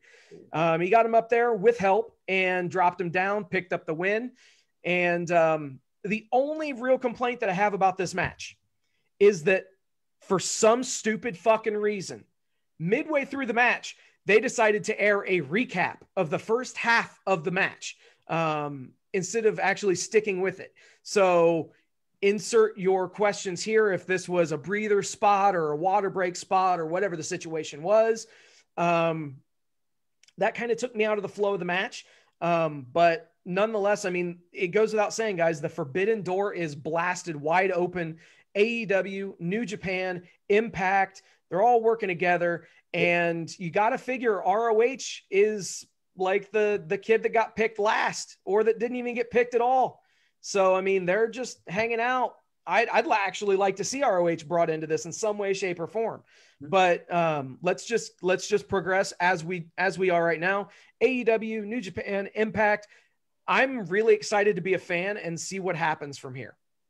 Yep, it's Wow. almost like uh, wrestling's version of the MCU. It's a shared world, Yes, and I'm excited. the multiverse. the multiverse. I'm excited about it. And best part about it, Sin City Steve, is it probably irritates Mr. Michaels, which is always Christmas. Oh, dude, quite- air air irritates Matt Michaels. Was Michaels Michaels was just yawning. Is, is are you you tired, brother, or what? No, no, you know, it's just uh, one of those things that um, it's not the product that bores me; it's the people who are fans of the product. that- gosh. Anyways, I would like an opportunity because Sin City Steve did invite someone to Go talk. ahead, man. Knock it out. As as most people know, the AEW Women's Eliminator Tournament is starting, and there's two components. There's the Jap- uh, Japan side of it, and there's the US side. And on Who's AEW, your favorite on the Japan side? I haven't picked. To be honest with you, I have not- Maki Ito. I'll tell you that right fucking now. See, Steve could do it off the top of his head. You couldn't. Hey, So hey. No, the only reason why she's why she's my favorite is because when the tournament was announced and she was announced as being in the tournament, she tweeted out in all capital letters, "Hello, motherfuckers!" Hey, Instant, instant favorite right there. I want her to win for that alone. Nice. outside of all of that, AEW, we got a chance to see uh, Thunder Rosa and the legit Leyla Hirsch, which I had talked about her, I think a couple of weeks, way more than a couple of weeks back when I saw her for the first time. I was like, man, she got something. She got some spunk. This little shorty piece of dynamite can explode and boom. And it was an awesome match between her and Thunder Rosa. There was a couple of things that, you know, they got disconnected a couple of times, I noticed, but outside of that, it, it was fun to watch, you know. I mean, so I'm excited uh, what they're trying to do with the women's division AEW. We've talked about it for a long time, right? Sin City Steve. Oh yeah. It's a good approach. I think it's a great approach. And I will agree. try to find my pick, Matt Michaels, and I will reveal my pick for the AEW Eliminator uh, title for the Japan side. I'll, I will actually do some homework and look up who I'm going to pick on that side. There you go. All right. Oh shit. No, Looking the, to it. the thing wasn't a challenge or anything. It was just going to the point of who fucking cares. Oh my gosh. Speaking of who fucking cares, let's talk But about you know what? The, the truth of the matter is, is who watches? Who watches Japanese wrestling outside of you, Steve? I will say that this got me interested to want to watch more Japanese women's wrestling. To be completely honest, More Even- people fucking should. and and even even when we talked when Sin City Steve talked about it two weeks ago, I started looking around. Okay, so what are some ways I can incorporate this into my schedule to start watching it? So at the end of the day, it's it's good for everybody all around. It's good for women's wrestling. It's good to bring more awareness and expand. I mean, it's a great thing. I mean, uh, unlike yourself that only expands two inches, I'd like to expand a little bit longer. All right. Well, let's go jump over into the uh, SmackDown. And uh, Matt Michaels, that's all you, man. Yeah, it was good. Sorry, I'm just gonna give you two inches tonight. All right. Well, then, hey, can you give us round two of the good inches and talk about talking smack? Because your boy, uh, your, your Paul Heyman, dropping pearls on talking smack. I mean, he sets up shit like a chess game. And I'll let you talk about it because that's your hero. Oh yeah, I've been saying that for weeks. Um, you can you can chime in on it and say what you want to say. Um, no, I mean, what else can you say about SmackDown other than um, the fact that setting up Roman to wrestle whoever wins the Elimination Chamber was a stroke of genius Yeah. and it it has that what they were missing the one thing they were missing was giving roman the depth of actually having control like that. And it wasn't the usual wrestling power play oh he's got the belt he's the champion you know he could do this or that. No it was done in a legit way of this is in his contract. Just brilliant brilliantly done. Um elimination chamber it's gonna be interesting right i i guess i guess Got uh, Kevin Owens, Jey Uso, King Corbin. You got Cesaro, Daniel Bryan. You know what? Out of that whole list that I will say, and I thought about it today, and I like what AEW's been, uh, not AEW, what WWE's been doing as of recently with uh, kind of showcasing people's uh, character arcs going into events, kind of showcasing some promo uh, packages. Um, I get Daniel Bryan going into this and what he's looking for. I get Cesaro. I get what he's going into.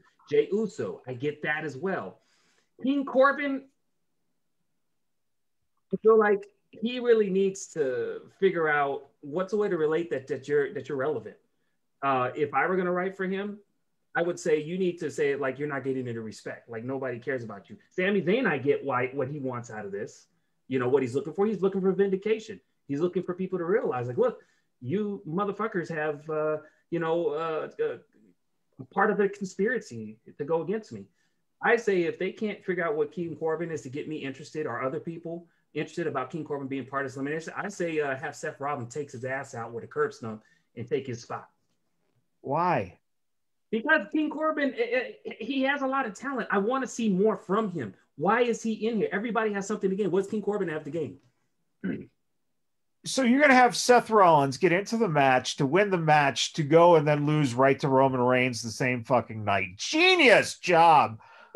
Oh, no, I'm not saying that. I'm saying in the spot of the, the people who are the participants, King Corbin Why has would you have him in the match if he's not going to win it? he has to win. No, because he's trying to push a vision. He's trying to push a vision, which we saw on Friday night. And unfortunately, everybody walked away, except for Cesaro, obviously. But it, it- it's one of those things to where, again, my biggest point was, okay, what does King Corbin really have to offer? Are we going to see that this week leading up to? Does it fucking matter? You have six people in a match who eventually one of them is just going to get fed to fucking Reigns, and hopefully, you know, that's your storyline moving on. But you said it, storyline. What's the storyline of King Corbin right now? Tell me. There's no need to put. Oh, fuck, man, dude, you. Fuck. You spotted. Yeah, you earned it. Where is it? Uh, Are you sending him to the go. Shadow Realm? Yes. you you know what you know what happens when you did that to the other guy. I was gonna say it's like the black hole, man. You go in, motherfuckers ain't- don't come back out. we haven't seen him since, so you might want to. Thank gosh. How come you did not tell me the Matt Michaels X Realm was so fucking cool? It's filled. It's filled with everything you love, right? fucking cool. Impact. The strippers with the poles, yeah, It- games, they was in this motherfucker. shit, man, put me there, Michaels. I want to see this. It's like Raw Underground in that bitch, except it's like DJ Impact wanted it to be. but it, but it's but it's it's really it's actually a little different for everyone. So like Simon gets to see Drew Brees smoking a cigar with the Super Bowl trophy, but if Steve goes in, he gets Roethlisberger with the Super Bowl trophy smoking a cigar. DJ, I guess Carr. there you I go. guess, I guess Whatever, you know. Since whoever your quarterback is going to be next year. yeah. Whatever. That was fucking man. How come you haven't sent me there more often? That shit was freaking nice. it was almost a death experience, and you're enjoying yourself, and all of a sudden it said, "No, you can't stay here." What the fuck? Let me ask you this: Did you guys like the the, the banter going back between Apollo and Big E? I did like it. I thought that was good. I did like it, but the only thing that I did not like Mhm. is how Biggie was. I didn't like how Biggie kind of responded to it in a way. It was like, dude, I'm done with you. Like that's supposed to be still your friend, not your boy, but your friend. And you was like, I get Apollo's being an ass about it, right? But Biggie went cold shoulder on his ass He called real. him a, he called him a charity case too. He, ju- he to go back to catering, dude. That's like me telling Michaels, like, bruh, like for real, man. The two inches, man. This ain't gonna work with these hoes. I'm just saying, it's just like No, I'm just saying, like that was really like that whole interaction was just like shit. Like they. Boy. um, no, Anyway, what I'm telling you is if you come over to my place, I can really show you some things. Like my bad. Uh, um, but just going back, that whole, back. I was talking to her. That that whole interaction um, was really good between uh, between you know uh, them two. So, um, and you know, I kind of like to see where where this is going. You know, maybe finally they figured out something for uh, Apollo. Uh, I mean, it still won't come out with him being out on, on top, but still, it's a, good- a story that seems like he he'll fit right in. So, um, so that was cool to see. Um, jumping back over to Seth, did you guys enjoy that whole how he came back and how they had everyone come into the ring in this Oh, lumberjack form? I thought it was You know what was so funny? I was think I was saying when everyone was walking, I kept saying somebody has to stand back. There's got to be one person. There's one person got to stand. But I was hoping whoever that one person was was, you know, was going to be a person who actually agreed with him. Um, so, but the, how they did it works too. You know, I like how Cesaro was like, uh, maybe there was something there, but not anymore. Uh, you know, but I, I like the idea they did hold somebody back because I was like, that would be awesome if one person did stay, and and it did. You know, it, there's there's one thing that it proves though Mhm. that uh Aalyah is probably better at uh, you know pleasing Mr. Murphy's uh, unit than uh, Seth was?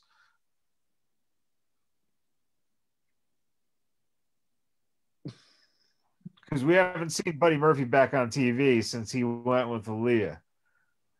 I, I guess, but I mean, dude, that's that's dark, bro. I have nothing to say. that went so left. Just like you. Know what's funny about that night though? Changing the subject. I like how they was messing with your tag team champions. We're just a couple of dirty dogs. And then when they was trying to get their spot in elimination chamber, uh, they was talking about, oh, you guys want to share a pod? You want to share the same pod? That shit was- Right. Yeah. We can cut holes in it and all that. Um, yeah, but like you said, I mean, yeah, SmackDown. It um, it definitely was a um, you know, good show like they always do, man. Just good writing, writing in general. Talking smack because I really feel talking smack really. Yeah, I, I I have yet to watch that, so I, I Pickles got me hip to watching it now. Now I immediately watch it right after SmackDown. Thank you for hipping me onto it. Uh, it's so much shit just in that small amount of time. Uh, did not know Kayla Braxton was 19 years old. I feel all types of guilty. She's not 19 years old. Oh, don't you laugh. Don't you laugh there, DJ. Paul, Paul Heyman said she was 19 years old. I was like, I had to check on that. Like, hold on. she's a fan favorite. I won't lie. Yeah, but but but you also were a fan of JoJo when JoJo was, and she legit was 18 when she started. So Oh, you just gonna put my, my myself out there like that to the world, man? Hey, I took a picture of her when she was of age. Anyway, besides the point, um, I don't want to take it away from you, Michaels, but I have to tell you, that's okay. Heyman is a genius. Like the way he sets up shit, it's like a it's like a class shop and like like I don't know, like whatever you what would you call it, Matt Michaels? Because it's, it's amazing to watch. Well, it's the uh, dedication to what he's saying. And there are certain people, like Miz is really good at it. You know, anything that comes out of their mouth when they're on these types of programs, right? They're they're allowed a little bit of freedom to make it a little more of a shoot feel to things. Um, and so they use shoot ideas you know that's that's the easiest way to achieve that balance is that you have two people and you know if you have a little heat with each other then you explore that you know knowing that you know again listen it goes all the way back to brett and shawn. The you know the, there was an understanding there that um you know shawn was going to say some nasty things to brett and then brett was going to say nasty things to shawn and then shawn was going to say it back and brett was going to get pissed off like usual and you know then realize that you know his ego was so fragile paul heyman is a genius He fucking is. I mean, he he even made it like when Daniel Bryan came in. I mean, obviously Cesaro was struggling to kind of, you know, uh, uh, bait that one. But once uh, you know Daniel Bryan came back in, he presented the same question. Same thing he did with Sasha Banks. You know, uh, uh, he's done that countless times, saying like, "Hey, you know, Bianca Belair is good," but basically told her like, "You got to be that uh, that that that conniving Sasha Banks to get that win." And and and I like how Sasha finished it. She said, "Well, she's got to pick me first, and then left." I was like, "Woo!" Hey, goosebumps on that shit. So I mean, again, facilitated by yours truly, uh, Paul Heyman. He should win a Slammy. Well, you never know, man. He may actually do that. I mean, he he gonna go to the Hall of Fame. I, I'm petitioning if they don't put him in it, but he will go to the Hall of Fame. Easily, without question, he'll be there. Well, I mean, outside. Mhm. Yep, Chris Benoit. Uh, I think that will probably be, you know, the the headlining class. Do you put Paul Heyman with Chris Benoit to be in Hall of Fame? Yeah, two ECW guys, you know. I mean- I mean, my thing is like this: if you can get Chris Benoit in the Hall of Fame, that'll be some. That that's like a multiverse of madness, like a whole different dimension. He gets in the Hall of Fame. I well, think what's the next time they do WrestleMania in Canada? Hmm, well, that'll be never. I don't know. That, that's never happened. Is it? Toronto- WrestleMania Maple Leaf. Yeah, Toronto, if you're listening, they plan to put Chris Benoit into the Hall of Fame the year you want to host it. oh man, you know, spe- Go right, Impact. We'll go. speaking of Mania, uh, uh, is it weird that they haven't uh, started selling uh, seats yet? No, No, okay. Because they're gonna have to. because they they're gonna have to they're gonna have to go through all sorts of logistical simulations just to get as many people in there as they can without um, endangering those same people, making sure distancing, all that kind of happy horse Sure. shit happens. So But they, Yeah. I'm just saying, like they, you, they wouldn't already have had that planned out. No, No, just there's as- to think about. you you you act like as if they plan things out. They don't. well, too, guys. They fly by the seat of their ass with their booking, Yeah, yeah, I guess. which so. is a microcosm of their business model. and don't forget too that anything that you have in place now could very well be changed a month. Yep. So you don't want to do too much of that. And I would assume that a lot of their um I think a lot of their tickets are going to be uh like first responders yeah. as well. They're gonna have to have I- yeah. like I could see them doing basically what the Super Bowl did. Yeah. Um, like what the NFL did with for the Super Bowl. Got you. That would make sense. question, guys, because this is something that I brought up before, and I, I have a feeling the trend's going to come there. It's going to be incentive program for people to vaccinate, and eventually having that could be a wrestle. Maybe maybe not this one because it's too soon coming up, but for next one, which is Dallas, right? Have your paperwork showing that you've been vaccinated. Do you think that's something that might be a reality, not just for WWE, but for other events? Like if you want to go to an event like that, you have to show your vaccination uh, paperwork, and um, of course, everybody would still have masks on and stuff like that. But do you see that for the future? No. No, because Vaccination, vaccination, or proof of a negative COVID test within 72 hours of the event, I could see. yeah. Um, I could see not, but again, the I legitimately think that there are lines to be crossed where you know they're mandating vaccines. Um, I I would not I you know I I don't see a problem with them throwing in the stipulation of being able to verify a negative COVID test within the la- the you know within a 72 hour window of the event. Well, and, and, and I agree with you on that one. I'm, I'm, I'm, I'm not a big fan of mandating any type of thing because what people believe in is what they believe in. But I will tell you this I'm getting my uh, secondary shot this Saturday. Now, what that does entitle me is if I want to be around someone that has a positive COVID, A, I no longer have to quarantine for two weeks. So I could be at a WrestleMania with people, even if they had a positive or a negative, I'm saying in that situation. So, I mean, could it be some type of thing to where they put some kind of a So you stretch, you basically stretch this around just to be like, hey, I've got my second shot. I can go do anything. Fuck the rest of you guys. nice job, dude. Saying, but hear me out. Hear me out. What I am trying to say is the logistics of if you're vaccinated, you can be with the population of people who have a positive COVID, is what I'm saying. So there's something just with that scenario that's workable. I'm just how they would you gotta you gotta remember a couple things. You're just we're just going off of the assumption that that is the actual case. We we we're at a point where people are just starting to get vaccinated. You don't have enough of a population yet to, you know, uh, think about you, you have a huge stadium. It's going to take a while for things to get acclimated, and then you're you're fighting variants. True. So, the my biggest thing is this: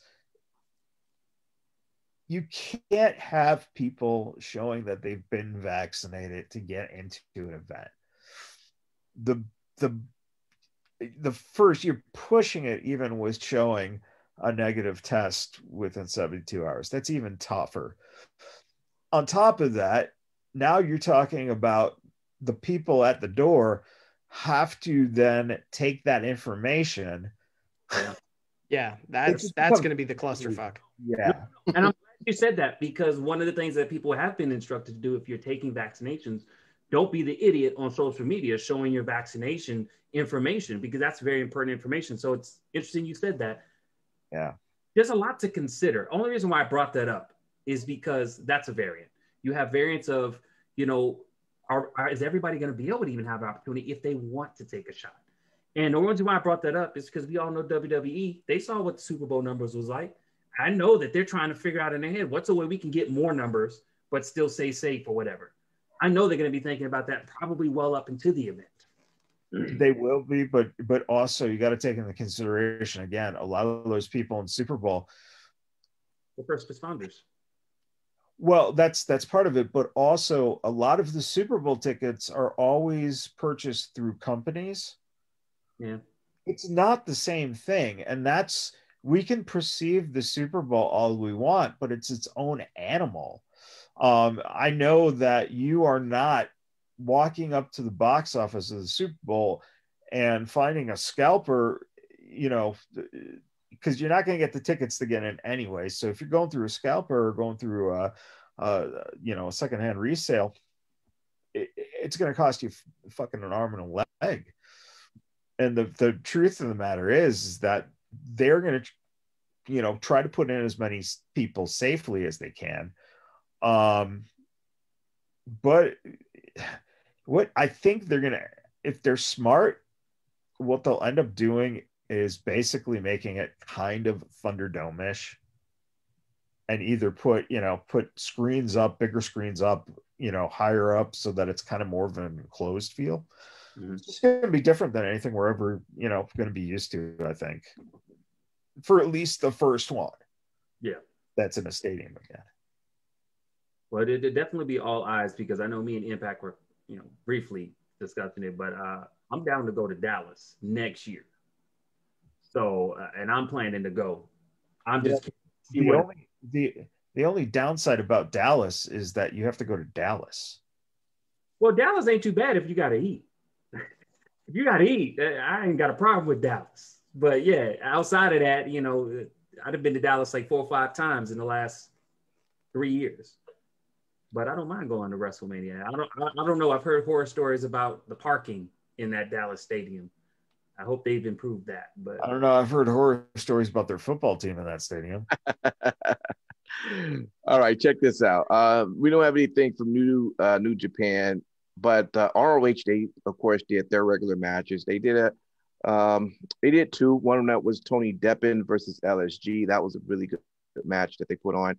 LSG was the the winner of that particular match, and um, and then the foundation, I guess, because last week uh, on this eight on eight tag team match that ended in just such disarray that it pissed off the foundation because, of course, their whole their whole sort of um, idea of the foundation is keeping ROH where, you know, you're supposed to get along. Yes, you have your matches, but you don't tear the business down. So you're not throwing chairs and throwing tables.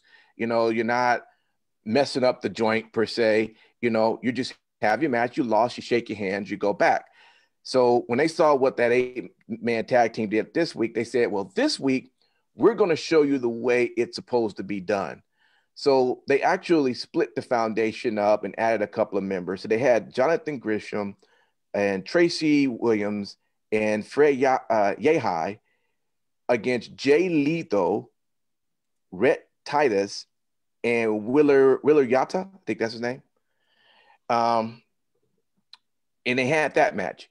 So again, you have certain members of the group that were going against each other, and they had their match. I mean, it, it was pretty good. I think it almost ran the entire half an hour. Most of their matches are within mm-hmm. 15 minutes or so. Uh, this one was a little longer, but you know, they did exactly what they were trying to, you know, say, and that is after you lose that match, you know, you you go gracefully. Um, really, it, it again, that really was a good match, but you know, I, I I'm still trying to figure out the the whole foundation. Um, I, I get what they're trying to do. Um, I'm just trying to see at what point does this sort of gimmick or their persona just fall apart.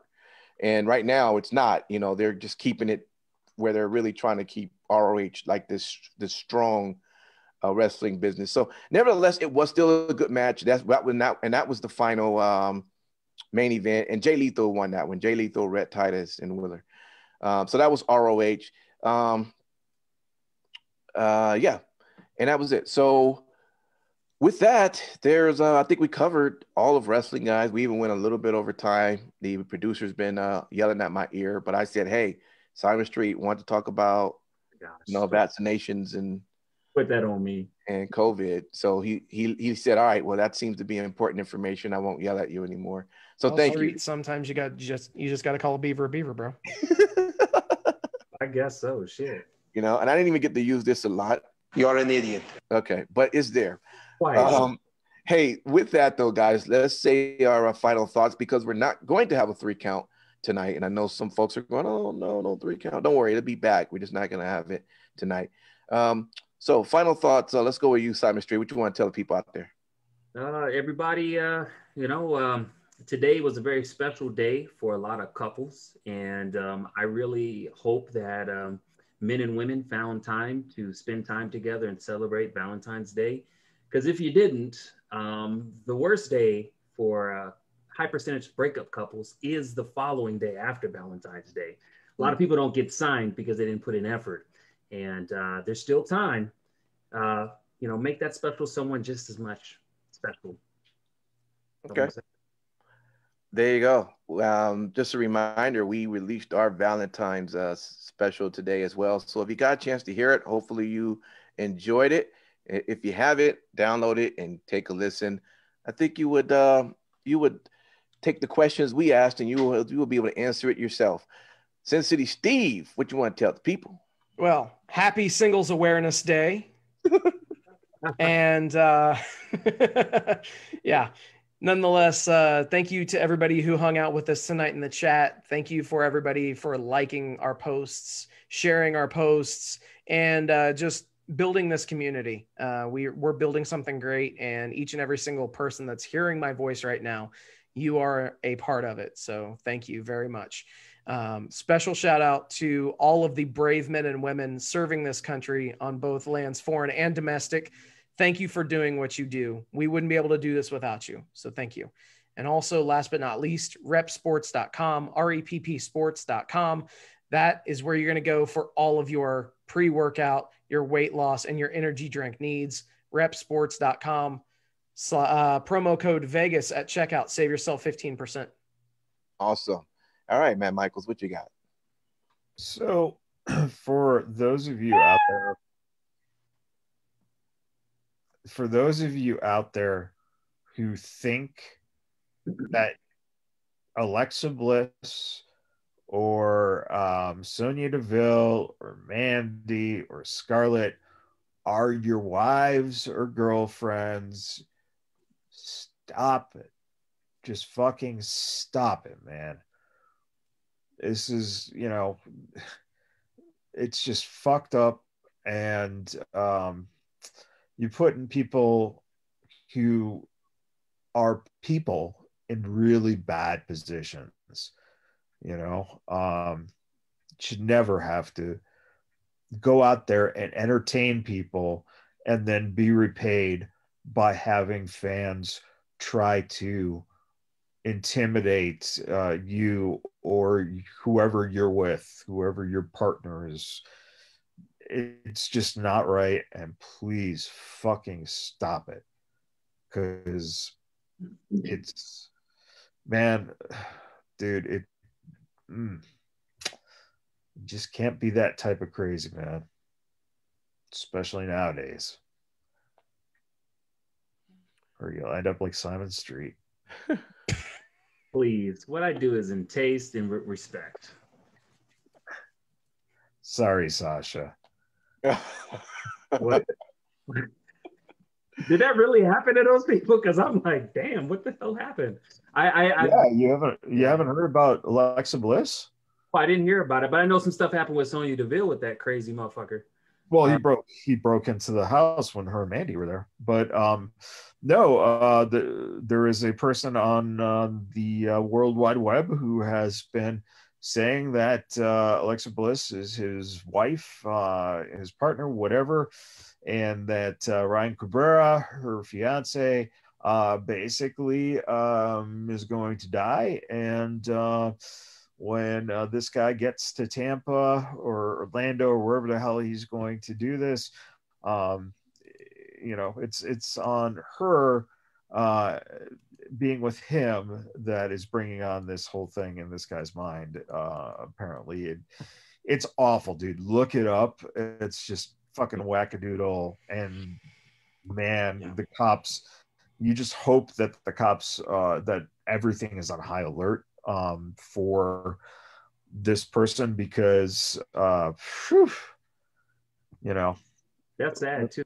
There's no respect. I mean, if, if if you if that person really respect Alexa Bliss and really was a fan, why would you want? the well person- they're not a they're not a fan Yeah. obviously, but I'm just saying, you they're crazy yeah, yeah, that's sad. That's really sad. I, That's my first time hearing that, but I'm I'm not shocked, and that's um hopefully the street and Sasha Banks is not a real thing at all. I have a little TV crush, but I would never want to see her un- unhappy or outside of who she is. And that's what normal people do if they have a crush on somebody. Weird people is the dude that you mentioned, Matt, Matt Michael. That's some weird shit. Well, it's just comes down to this fact. Instead of looking at it through that perspective, it's looking at it through the perspective of no, the only way she'll be happy is if she's with me. And you know, we can we can say all these things about people who do this to celebrities, but think about if you've ever been in a situation where your boyfriend or girlfriend says to you, um, "Hey, you'll never be happy without me." I actually have been in that situation. And after I broke up with her, she wrote letters to my mother, my father, my sister, and, um, you know, was saying, hey, I'm going to be with him. And uh, it, it was weird. It was a little scary. Yeah. okay. There you go.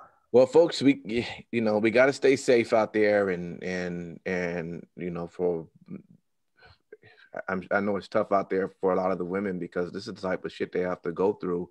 I mean, and this is just happens to be famous people we know. I mean, women who ordinary women who just live their lives have to deal with this shit too, you know. So just do your best as you can to uh, to to just you know to stay safe and and um, you know?